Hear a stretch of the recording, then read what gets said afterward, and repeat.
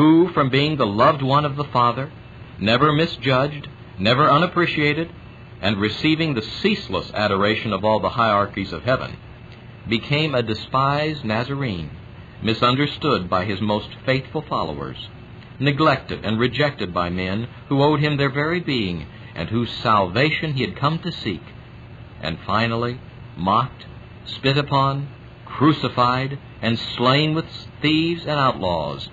Will any follower of Christ, reflecting on these things, hesitate to make the trifling sacrifices indicated above? It was a sacrifice, and no one knew it better than Maria Taylor. She wrote her friend, Mrs. Berger, Things which are tolerated in us as foreigners, wearing foreign dress, could not be allowed for a moment in native ladies. I do not at all mean to imply a doubt as to the desirability of the change, but the nearer we come to the Chinese in outward appearance, the more severely will any breach of propriety, according to their standards, be criticized. Henceforth, I must never be guilty, for example, of taking my husband's arm out of doors. And in fifty or a hundred other ways, we may, without great watchfulness, shock the Chinese by what would seem to them grossly immodest and unfeminine conduct. Oh, pray much for us in respect to this matter.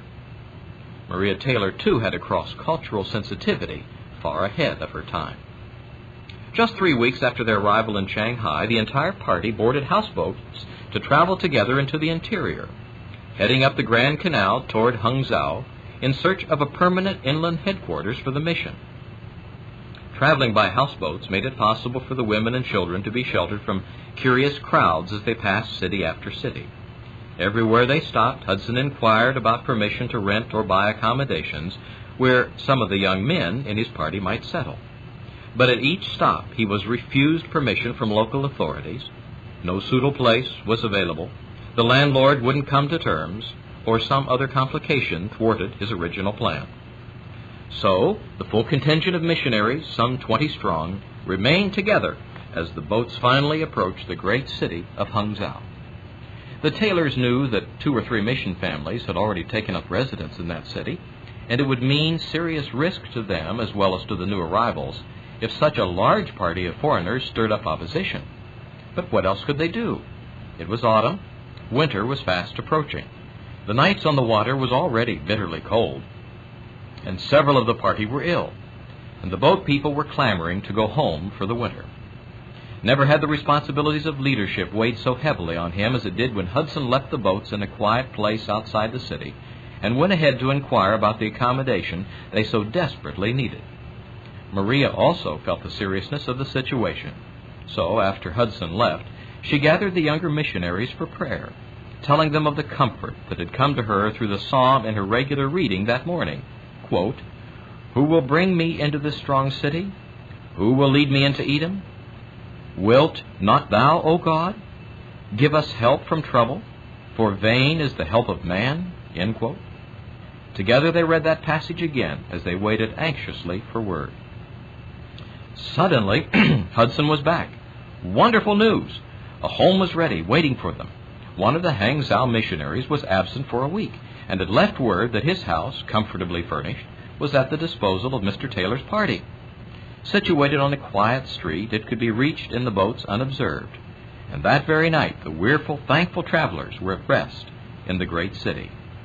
Within the next few days, in spite of all the usual difficulties, Hudson secured premises of his own, a large rambling house which had once belonged to a government official, but had over time become a warren, occupied by a number of families.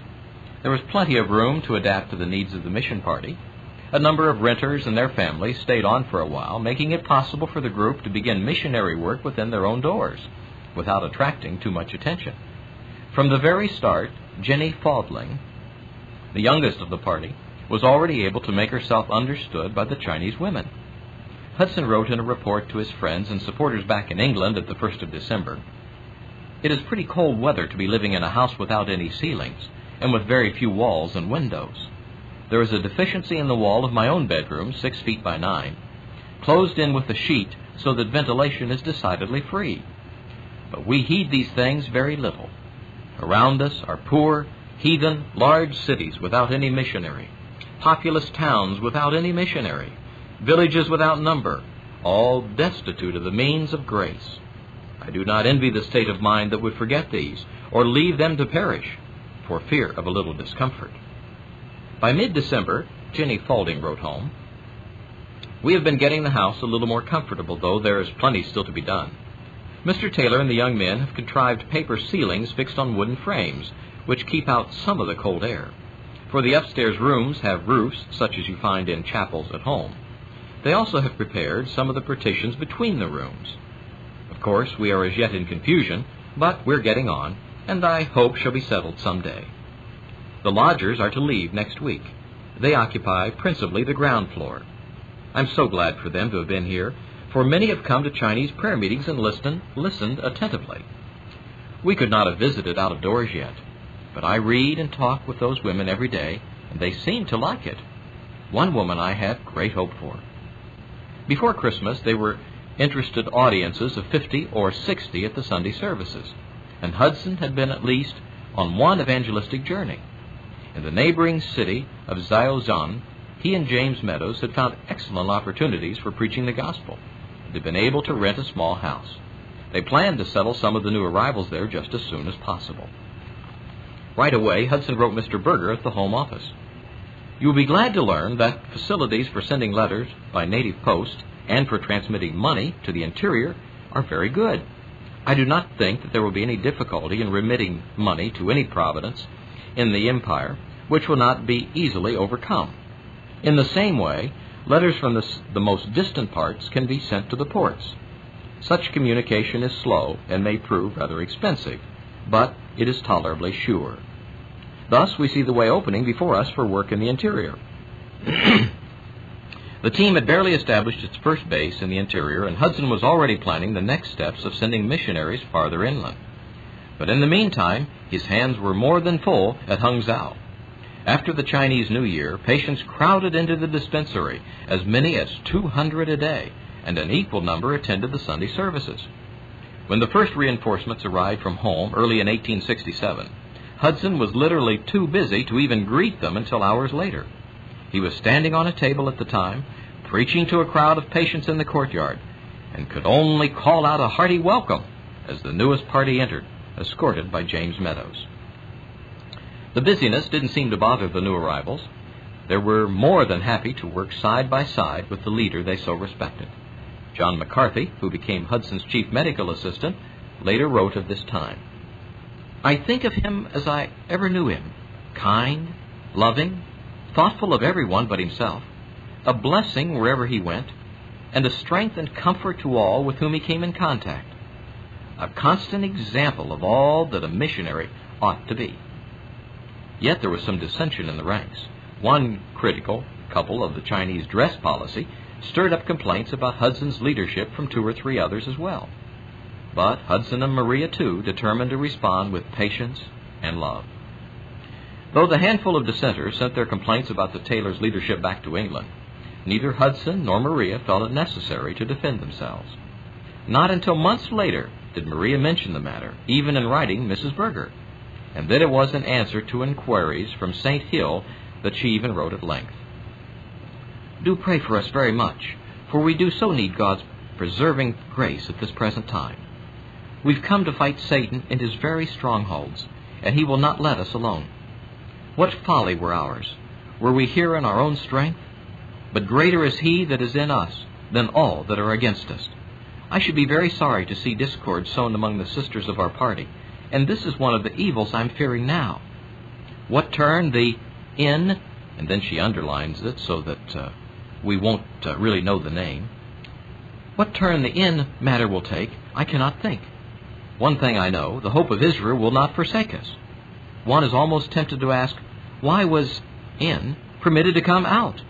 Perhaps it was that our mission might be thoroughly established on a right basis early in its history.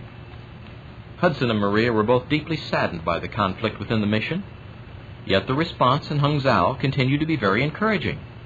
So, when the first baptisms came in May, Mrs. Taylor wrote again to Mrs. Berger. Perhaps the dear Lord sees that we need sorrows to keep us from being elated at the rich blessing He's giving in our work. By that time, the mission had established additional outposts, and the administrative details had multiplied. As Jenny Faulding wrote, if only Mr. Taylor could be in three or four places at the same time, it would be a decided advantage. He's wanting to visit the governing cities of the province, to look out for the most eligible places for stations. He and Mr. Duncan have been on the point of starting several times. Then there is Ningpo, where he is needed, and here he is overwhelmed with work. He wants to go to Zhao Hin, to Mr. Stevens' stations, that he may give further help with the colloquial dialect. There is hardly any knowing what his movements may be. Yet he goes on so quietly and calmly always, just leaning upon God and living for others. That is a blessing merely to witness his life. The greatest sacrifice he had to make, Hudson felt, was leaving his family behind whenever he had to depart on a journey. He loved his children and enjoyed all the time he could spend with them, including the daughter who was born that first winter in Hangzhou. But his little eight year old daughter, Grace, seemed a particular blessing. During the voyage to China on the Lammermuir, she was so impressed by the changes she saw in the sailors who accepted Christ that she made her own personal commitment to the Lord. After that, despite her tender age, she seemed as devoted to the task in China as her parents. Early in 1867, she sent a note along with her father when he left on a short journey. Written on pink notepaper with a flower painted in one corner were the words, Dear Papa, I hope God has helped you to do what you wanted and that you will soon come back.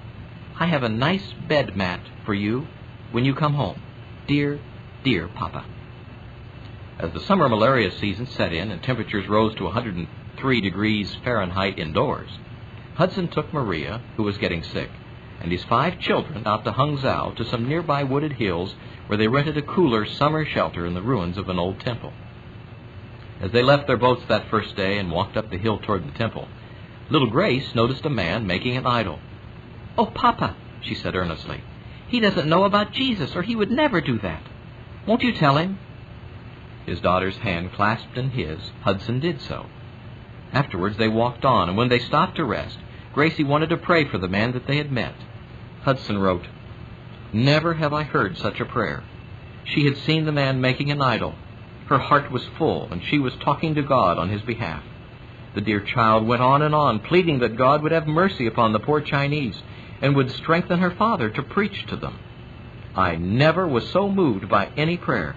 My heart was bowed before God. Words fail me to describe it.